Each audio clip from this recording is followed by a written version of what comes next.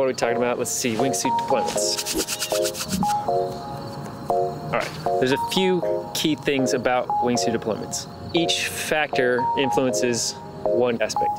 It's the part of the skydive where we have to be the most attentive and the most focused.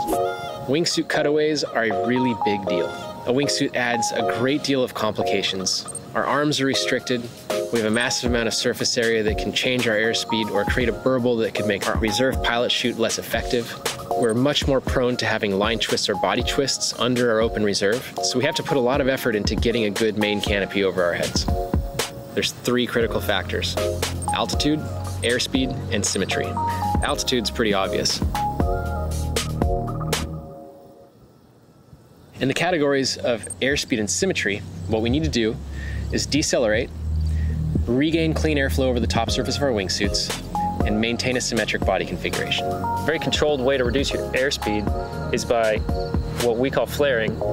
A flare is a series of actions combined to achieve a goal. Specifically for wingsuits, a flare involves increasing your angle of attack, slowing your descent rate and airspeed, and setting the proper pitch attitude for deployment. And that means flying an angle of attack that gives us a smooth airflow over the top surface of our wingsuits.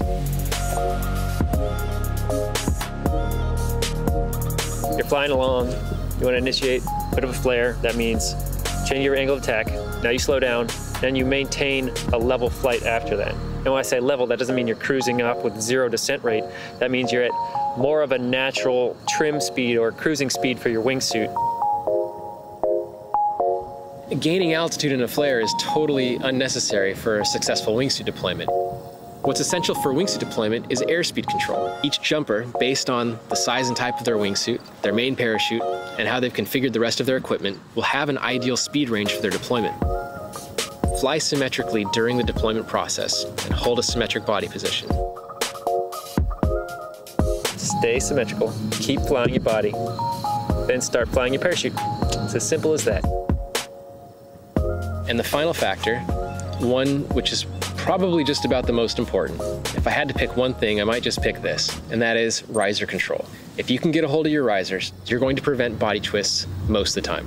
Body twists happen when you rotate underneath your already open parachute or your opening parachute. The most effective prevention for body twists is riser control.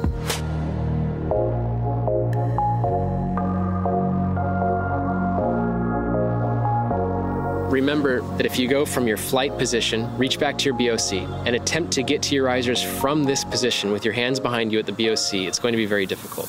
However, if you bring your arms back in front of your chest and reach forward, the sleeves of your wingsuit will raise up on your wrists a little bit and it'll be much easier to reach your risers. You only need to grab the bottom of your risers. You just have to get even a couple of fingers just at the bottom of your risers. This is all it takes to keep your body aligned underneath your opening parachute. That deployment process takes a few seconds, so relax, maintain symmetry, and breathe a little bit. There's a theme here for good openings with wingsuits, and it's continue flying, right? That means all sorts of things. It starts out by meaning continuing flying with laminar flow in as little burble as possible at a low airspeed. It means continue flying, staying symmetrical to your body, straight, not inducing a turn in one way or the other, causing potential line twist. Continue flying. It means once you're sat upright in your harness, you're controlling the parachute by reaching for your risers and keep control, positive control of your body with your parachute while it's deploying. So all that big long theme is continue flying. Never give up flying when you're trying to open your parachute. If you have an older seven cell parachute that's supposedly wingsuit friendly, it probably works great. If you're having issues with deployments on that older parachute, you don't necessarily need to go out and buy something new to fix them. What you need to do is follow these three steps. If you can pull at the right altitude, if you can pull at the right airspeed, and if you can fly symmetrically during the deployment process and hold a symmetric body position, your openings are going to be pretty good.